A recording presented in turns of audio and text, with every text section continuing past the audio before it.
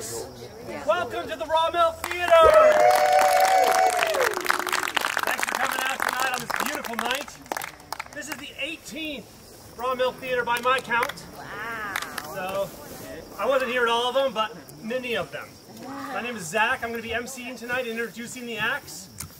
The outhouse is around back, in case you were wondering. It's lit up, has all you need.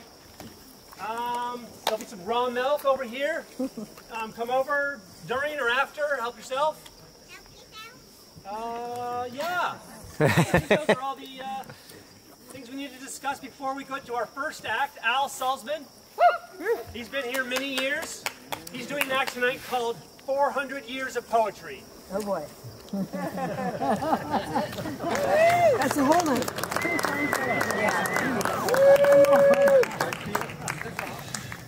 Is it on? Can you hear? Can anybody hear? I feel as though I've just been resurrected. yes, okay, so this is going to be, can you hear me back there? Yes. Good. This is going to be a very quick journey through 400 years of poetry.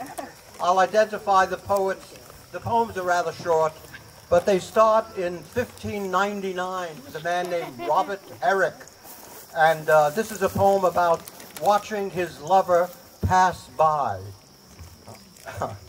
When as in silks my Julia goes, then, then methinks how swiftly flows the liquefaction of her clothes.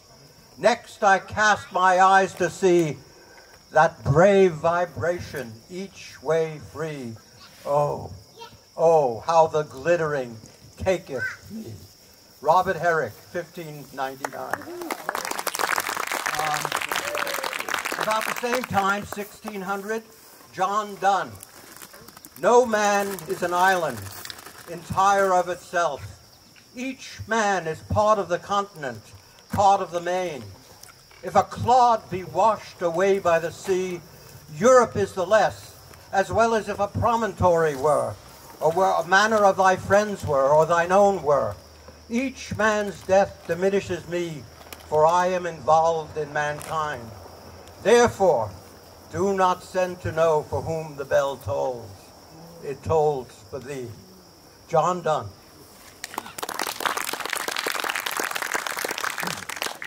Shall I compare thee to a summer's day? Thou art more lovely and more temperate. Rough winds do break the darling buds of May, and summer's lease hath all too short a date. Sometime too hot the eye of heaven shines, and often is its gold complexion dimmed. But thy eternal summer shall not fade, nor lose possession of that fair thou owest, nor shall death brag thou wanderest in a shade, when in eternal lines to time thou growest. As long as men can breathe and eyes can see, so long lives this, and this gives life to thee. William Shakespeare. I'm going to do two more Shakespeare sonnets. I, I happen to love them. Um, his perceptions were, were extraordinary.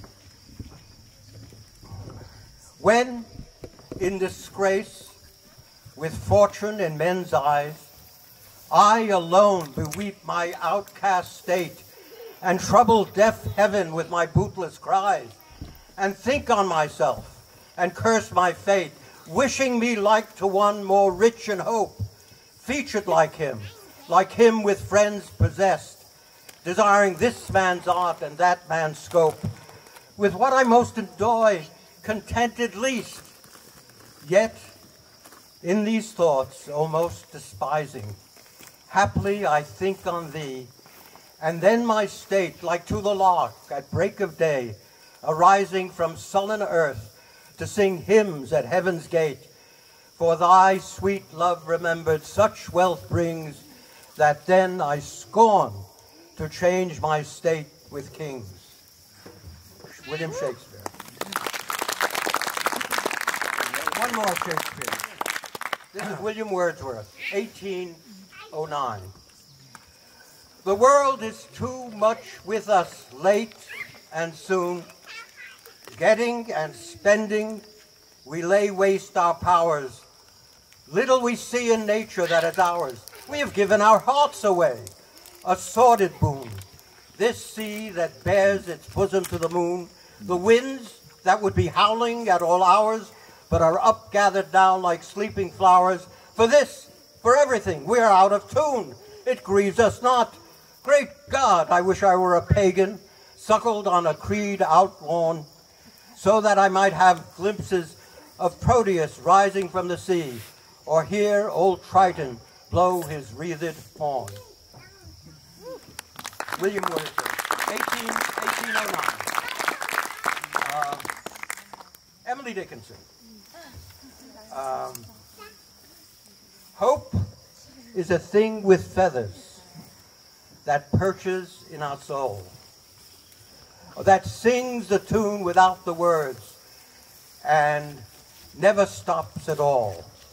I've heard it in the coldest land and on the strangest sea, but never in extremity it asked a crumb of me.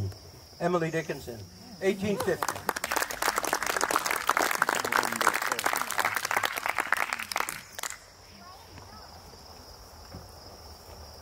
They've mapped the human genome and computerized the mind.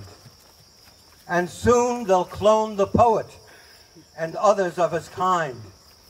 Emotions, if not binary, won't match the numbered code.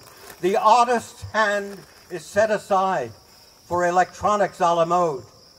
To mm. take the measure of your love, log on to cyberspace for a colored laser printout of your enamorata's face.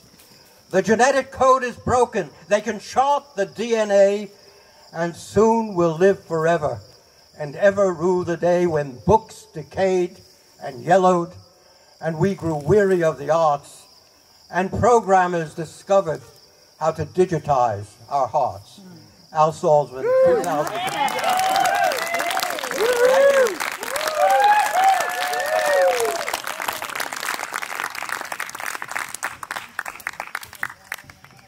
Thanks, Al.